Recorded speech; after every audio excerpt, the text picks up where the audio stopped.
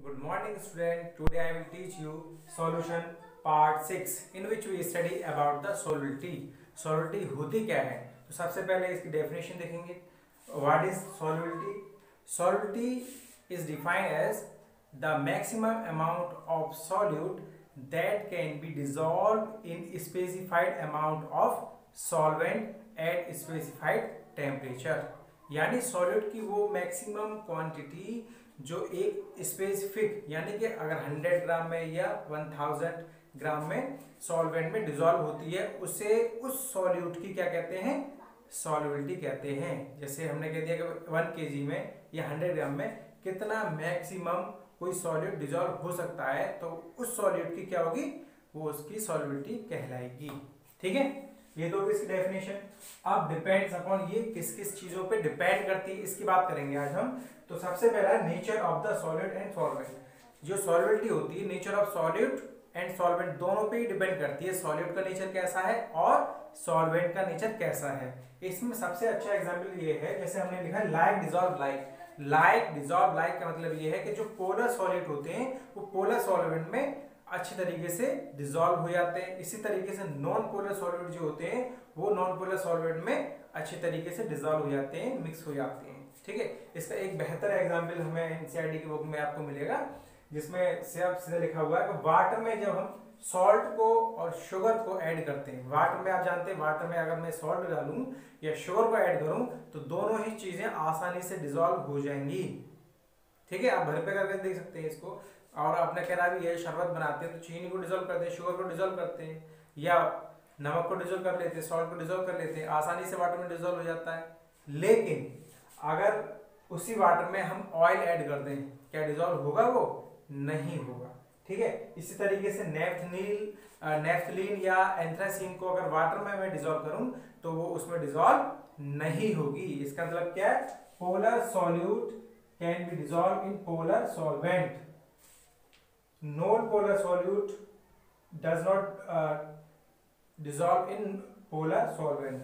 तो polar solid होगा तो पोलर सॉल्वेंट में आसानी से डिजोल्व हो जाएगा। ये बात यहाँ से हमारी प्रूफ हो गई। और सेकंड एग्ज़ाम्पल देखिए कि अगर बेंजीन हमने जो सॉल्वेंट ले लिया वाटर की जगह हम बेंजीन ले लें तो उसमें अगर शुगर या सॉल्ट को ऐड करेंगे तो वो डिजोल्व नहीं होगा। अगर वाटर में सॉरी बेंजीन में सॉल्ट या शुगर को ऐड करें तो वो डिजोल्व नहीं होगा। और दूसरी तरफ़ उसी व्यंजन में अगर नेफ्थलीन और एंथ्रेसिन मिलाते हैं तो वो डिजोल्व हो जाता है। सॉल्ट और शुगर डिजोल्व नहीं होता। और वाटर में सॉल्ट और शुगर डिजोल्व हो जाता है, लेकिन नेफ्थलीन एंथ्रेसिन नहीं होता। इससे ये प्रूव हो गया कि polar solute dissolve in polar solvent and non polar solute dissolve in non polar solvent understand तो पहला हमारा समझ में क्लियर हो गया। Nature of the solute and solvent किस तरीके से डिपेंड करती है? पूरी चीज़ क्लियर होगी हमारी। इसके बाद इसी में आया था एक डिजोल्यूशन डिजोल्यूशन एक वर्ड आ, आ जाएगा आपको जब एनसीईआरटी बुक पढ़ेंगे तो डिजोल्यूशन क्या होता है कि किसी सॉलिड को जब सॉल्वेंट में ऐड करते हैं तो वो डिजोल्व हो जाता है. इसी फॉर्म को हम डिजोल्यूशन कहते हैं. और अच्छी तरीके से देखना है. देखो इसमें साफ़ साफ़ लिखा हुआ है when a solid when a solid solid is added to the solvent some solid dissolve and its concentration increase in solution it is known as dissolution यानी कि किसी सॉल्वेंट में जब सॉलिड सॉल्यूट सॉलिड मतलब जो सॉलिड फॉर्म में हो, वो सॉलिड को डिजोल्व किया जाता है तो उस सॉल्वेंट का कंसंट्रेशन इंक्रीज हो जाता है। इसी को हम डिजोल्यूशन कहते हैं। अंडरस्टैंड इसके साथ साथ दो डेफिनेशन और हमें देखनी है। Saturated solution and unsaturated solution saturated solution के लिए क्या है? The maximum amount of solute that can be dissolve in solvent वो मैक्सिमम अमाउंट सॉल्यूट का, जिसके बाद उसकी थोड़ी सी परसेंटेज उसमें डिजॉल्व नहीं होगी। तो किसी भी सॉल्यूट की वो मैक्सिमम क्वांटिटी उसके बाद वो डिजोल्व होना बंद हो जाए तो वो सैचुरेटेड सॉल्यूशन उस पॉइंट पे कहलाएगा। जैसे वन लीटर हमने वाटर लिया है तो इसकी एक फिक्स अमाउंट होगा कि हाँ भाई इतना शुगर या इतना सॉल्ट इसमें डिजोल्व हो सकता है। इसके बाद अगर हम करेंगे तो डिजोल्व नहीं होगा। आप खुद करके देख सकते हैं कि आप, अगर आप शुगर को ऐड करेंगे डिजोल्व होगा। मिलाया, फिर हो गया, मिलाया, फिर हो गया। लेकिन एक टाइम ऐसा आएगा कि वो डिजोल्व होना, उसके पार्टिकल्स आपको दिखने लगेंगे डिजोल्व नहीं होंगे, तब वो सॉल्यूशन कहलाएगा सैचुरेटेड सॉल्यूशन इसी के साथ साथ हमारा अब आ गया अनसेचुरेटेड सॉल्यूशन ये बहुत सिंपल है। इस जब वो समझ में आ गया, ये भी समझ में आ गया। जैसे हमने एक एक लीटर वाटर ले लिया, उसमें हमने क्या किया? हंड्रेड ग्राम शुगर मिला दी, वो डिजोल्व हो गई। लेकिन हमने क्या करा? फिफ्टी ग्राम और मिला दी, वो भी डिजोल्व होगी इसका मतलब क्या? वो सेचुरेट सोल्यूशन नहीं है। वो उस टाइम क्या है? अनसेचुरेटेड सॉल्यूशन तो अनसेचुरेटेड सॉल्यूशन कब तक रहेगा? जब तक कि वो मैक्सिमम अमाउंट उसमें डिजोल्व ना कर दे सॉलिड का, जहाँ उसकी सॉलिडिटी खत्म हो रही है।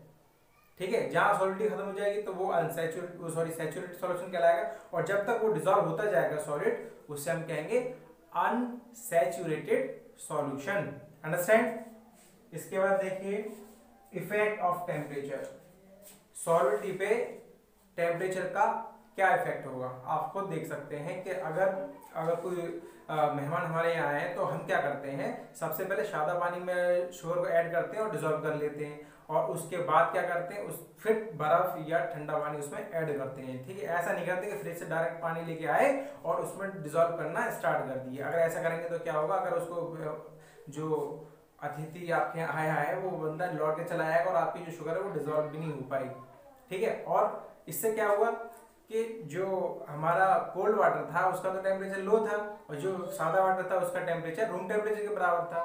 तो टेम्परेचर का फ़र्क आया कि नहीं आया? तो इसी से क्लियर हो रहा है कि when increase the temperature in जब हम इंक्रीज करते हैं टेम्परेचर को तो kinetic energy of the particle increase जो पार्टिकल से वो सॉलिड बना हुआ है, उसकी काइनेटिक एनर्जी बढ़ जाएगी। जब काइनेटिक एनर्जी बढ़ जाएगी तो क्या होगा? सॉलिड पार्टिकल की जो ऑक्सीडेशन कर रहा है, वो ऑक्सीडेट करते हैं। पार्टिकल जो होते हैं, आपके एलिमेंट जो होते हैं तो वो ऑक्सीडेट करते हैं अपने पोजीशन पे। तो वो ऑक्सीडेशन की पावर बढ़ जाएगी, जिससे वो डिजॉल्व हो जाएगा। तो इफ़ेक्ट ऑफ़ टेम्परेचर का मतलब क्या है कि जब when we rise the temperature जब हम टेम्परेचर को राइज करते हैं solubility of solid also increase तो सॉलिड की जो सॉलिबिलिटी होती है, वो भी आपकी इंक्रीज होती है। एनसीईआरटी में थोड़ा सा इस तरीके से भी दे रखा है बीचार्टी प्रिंसिपल कि कोई सॉल्यूशन है आपका, और वो नियरली सेचुरेटेड सॉल्यूशन है। सेचुरेटेड कब कहेंगे? जब उसमें कोई मात्रा डिजोल्व ना हो सॉलिड की, ज़्यादा, उससे हम सेचुरेटेड सॉल्यूशन कहेंगे, ये बात समझ में आ गई? ठीक है, अब उसमें मैंने सॉलिड को ऐड किया और डिजोल्व नहीं हो रहा, लेकिन मैंने क्या किया? टेम्परेचर को इंक्रीज कर दिया थोड़ा सा तो वो आप देखेंगे, वो जो सॉलिड होगा, वो भी डिजॉल्व हो जाएगा। वो जो सॉलिड होगा सॉलिड होगा, वो क्या हो जाएगा? डिजोल्व हो जाएगा। तो इसके लिए लिखेंगे नियरली सेचुरेटेड सॉल्यूशन है। तो एंडोथर्मिक प्रोसेस हो गया। एंडोथर्मिक क्या करते हैं? हीट उसको प्रोवाइड करते हैं। हीट उसमें से निकलती नहीं है। हीट जैसे चाय बना रहे हैं तो हीट दे रहे हैं। तो वो हीट प्रोवाइड करना ही क्या है? एंडोथर्मिक प्रोसेस है। तो अगर सेचुरेटेड सॉल्यूशन है आपका, उसका टेम्परेचर बढ़ा दिया सॉलिडिटी आपकी इंक्रीज हो गई तो यही आपका क्या ली चार्टली प्रिंसिपल है आपका। और अगर एक्सोथर्मिक प्रोसेस है तो आपकी सॉलिडिटी क्या हो जाएगी? डिक्रीज हो जाएगी। इस बात की याद रखिए, ठीक है? इसके बाद है आपका इफ़ेक्ट ऑफ़ प्रेशर तो इफ़ेक्ट ऑफ़ प्रेशर में आपको इतना याद रखना है। कि सॉलिड को अगर सॉल्वेंट में मिलाएँ यानी सॉलिड या लिक्विड में मिलाएँ सॉलिड को लिक्विड जो दो फॉर्म है सॉलिड लिक्विड उनको आपस में मिलाएँ तो उस पर प्रेशर का कोई इफ़ेक्ट नहीं होता। अब क्यों नहीं होता? क्योंकि सॉलिड और लिक्विड जो होते हैं वो हाईली इनकम्प्रेसिबल होते हैं। क्या होते हैं? हाईली इनकम्प्रेसिबल इसको और डिटेल में जानना है। तो आप आ, मेरी एक वीडियो है मैटर मैटर के ऊपर क्लास नाइन के लिए।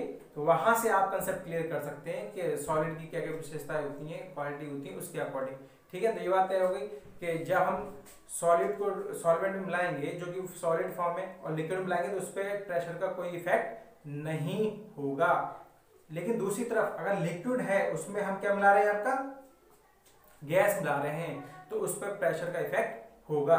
जैसे जैसे हम प्रेशर को इंक्रीज करेंगे, वो आपकी जो गैस है वो ज़्यादा डिजोल्व होगी। जितना ज़्यादा प्रेशर लगाओगे, उतनी ज़्यादा गैस डिजोल्व होगी। इसका जीता ज़्यादा एग्ज़ाम्पल जो है वो है हमारा थम्सअप वगैरह। जितने भी हमारे जो कोल्ड ड्रिंक्स वगैरह आते हैं, उन सब में कार्बन डाइऑक्साइड जो होती है डिजोल्व फॉर्म में होती है। तो डिजॉल्व ऐसा तो नहीं है कि हमने किसी कंटेनर से ऐसे मिला दिया, उसको क्या करते हैं? हाईली प्रेशराइज करते हैं। जब प्रेशर को इंक्रीज करते हैं तो कार्बन डाइऑक्साइड उसमें डिजोल्व हो जाती है। ठीक है? इसको और डिटेल पढ़ेंगे नेक्स्ट वीडियो में, जिसमें मैं हैंडी लॉ के बारे में बताऊँगा। ओके